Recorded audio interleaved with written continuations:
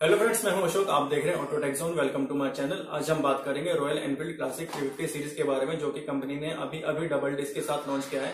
जी हाँ दोस्तों कंपनी ने अपनी क्लासिक सीरीज़ को, अपने सभी मॉडल्स को क्लासिक सीरीज़ 350 के सभी सभी रंगों को डबल डिस्क के साथ उतार दिया है। इससे पहले केवल गन मेटल ही एक ऐसा ऑप्शन था, जो कि डबल डिस्क के साथ आता था 350 सेगमेंट में। अब कंपनी ने गन मेटल की पॉपुलरिटी को देखते हुए, उसकी ज़्यादा से ज़्यादा डिमांड को देखते हुए अपने सब, बाकी सभी मॉडलों को भी 350 सीसी, क्लासिक, सभी मॉडलों को डबल डिस्क के साथ उतार दिया है, ताकि लोगों को, ताकि रॉयल इनफील्ड के कस्टमर को ज़्यादा वेटिंग पीरियड का सामना ना करना पड़े। इसीलिए कंपनी ने अपने सभी आउटगोइंग कलर्स में आउटगोइंग आउटगोइंग क्लासिक के सभी मॉडलों में डबल डिस्क का ऑप्शन दे दिया गया है।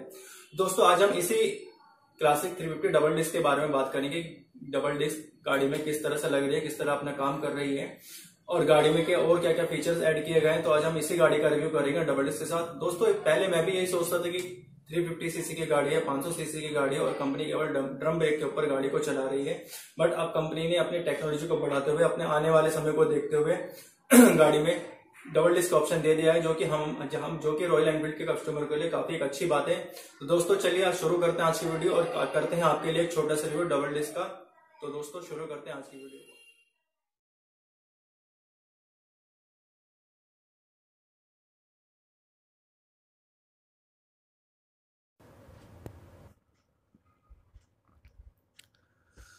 तो दोस्तों, आज हम आए विकास मार्ग, अमर ऑटो। ये है अमर ऑटो रॉयल एनफील्ड का शोरूम जो कि विकास मार्ग पर लोकेटेड है।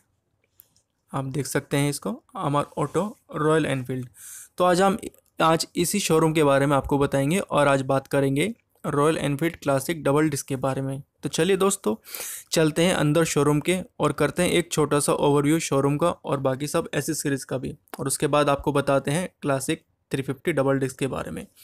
तो दोस्तों, ये है शोरूम जैसे कि आप देख पा रहे हैं। काफ़ी बड़ा शोरूम है, बिल्कुल विकास मार्ग पे लोकेटेड है और नियर बाय मेट्रो स्टेशन है निर्माण विहार। निर्माण विहार से बिल्कुल दो मिनट का वॉकिंग डिस्टेंस पर ये शोरूम है। अगर आप विज़िट करना चाहें तो सबसे पहला, जो सबसे नियरेस्ट मेट्रो स्टेशन वो रहेगा निर्माण विहार। तो दोस्तों स्टार्ट करते हैं। सबसे पहले हम एसेसरीज से तो ये कुछ इस शोरूम में सब एसेसरीज आपको मिल जाएँगी। तो एक ओवरव्यू आप देख लीजिए एसेसरीज का कि क्या क्या एसेसरीज है क्या क्या राइडिंग गेयर शोरूम में अवेलेबल है। तो please take a look of all accessories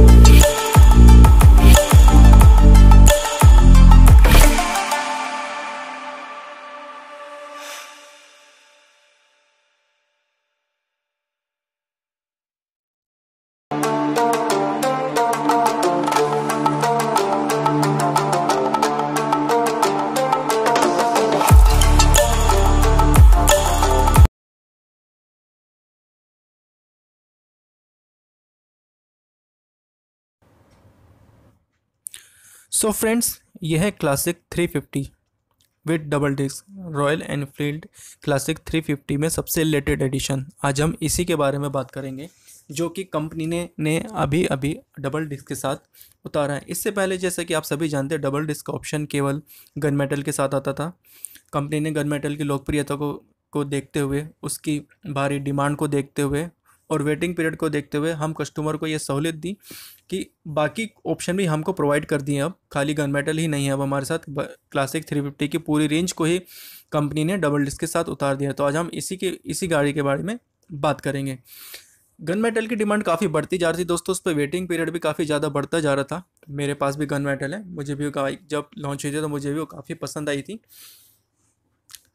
उस पर इतनी डिमांड हो गई थी, उसकी इतनी ज़्यादा वेटिंग पीरियड हो गया तो दोस्तों कि उसको तीन महीने तक, तीन महीने या उससे ऊपर तक तो उसका वेटिंग पीरियड चला गया था। तो कंपनी को कुछ ना कुछ तो सोल्यूशन उसका निकालना था। तो कंपनी ने ये सोल्यूशन ये जो कदम उठाया है, काफ़ी अच्छा कदम उठाया हम रॉयल एनफील्ड लवर्स के लिए, हम रॉयल एनफील्ड कस्टमर्स के लिए काफ़ी एक अच्छा ऑप्शन है कि उन्होंने पूरी थ्री फिफ्टी सीरीज़ को ही डबल डिस्क के साथ उतार दिया है।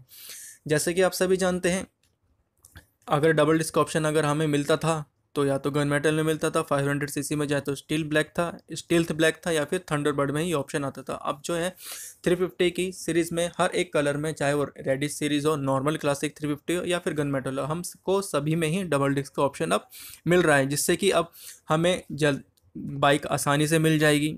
हमारे पास काफ़ी ज़्यादा ऑप्शन बढ़ गए हैं, हम अपनी पसंद से अब कलर ले सकते हैं। पहले अगर हमें अगर डबल डिस्क लेना पड़ता था तो only option is gun metal इसके अलावा किसी कलर में नहीं। था अब हमारे पास फुल रेंज के साथ डबल डिस्क है तो हम अपना मनपसंद कलर भी आप चूज़ कर सकते हैं।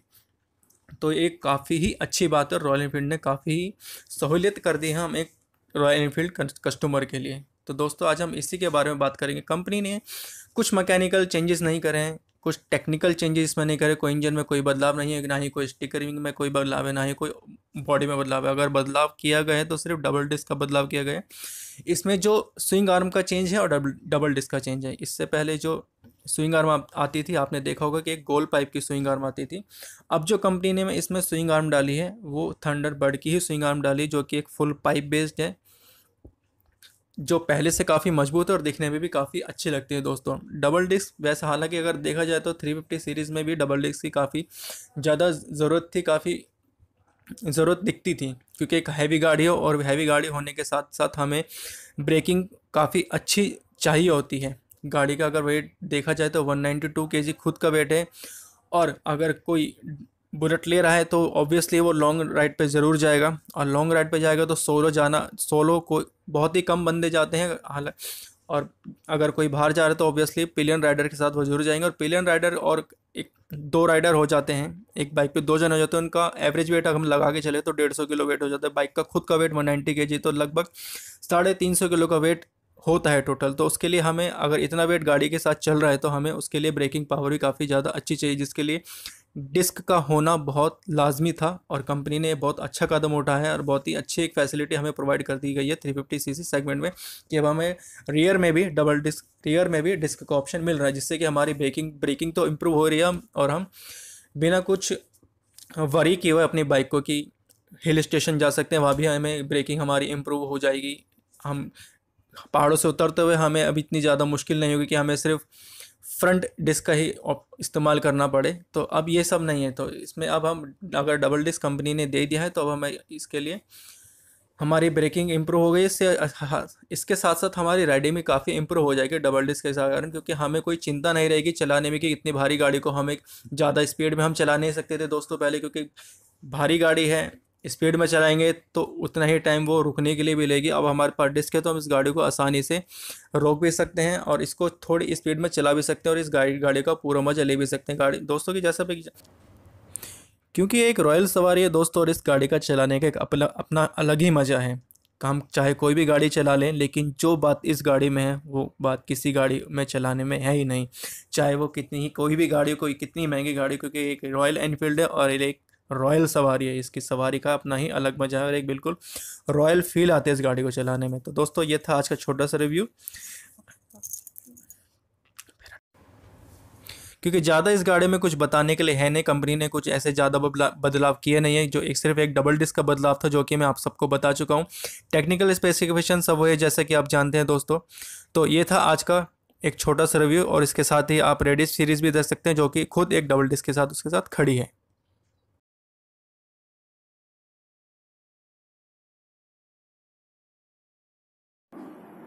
दोस्तों, मैं आपको बताना चाहूँगा, अमर ऑटो में आपको एसेसरीज भी अवेलेबल है। अगर आप अपनी बाइक में कोई भी अलॉय लगवाना चाहते हैं, या उसको अपने पुराने स्पोक व्हील से अलॉय को पुराने स्पोक व्हील को रिप्लेस करना चाहते हैं तो वहाँ पे ये फैसिलिटी भी अवेलेबल है। आप अपने बाइक में अलोविल लगवा सकते हैं एक्स्ट्रा एसेसरीज में। साइलेंसर लगवा सकते हैं। साइलेंसर की उनके पास पूरी रेंज है। अलोविल्स के उनके पास पूरी रेंज है।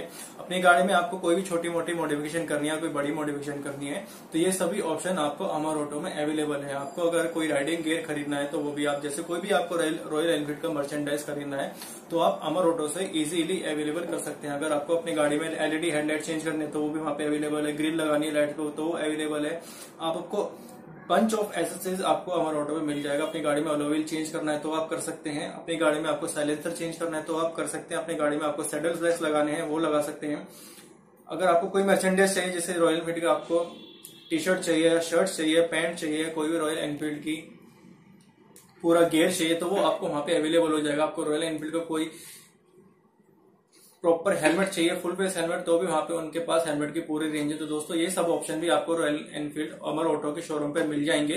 दोस्तों, अगर आप में से कोई भी एक अपने आप को बाइकर कहता है या बाइकर कम्युनिटी में रहता है और आपको राइड करना पसंद है राइड करना पसंद है, जिसको जैसे कि हम कहते हैं ब्रेकफास्ट राइड या संडे राइड या वीकेंड राइड तो अमर ऑटो ये फैसिलिटी भी आप सबको प्रोवाइड करता है।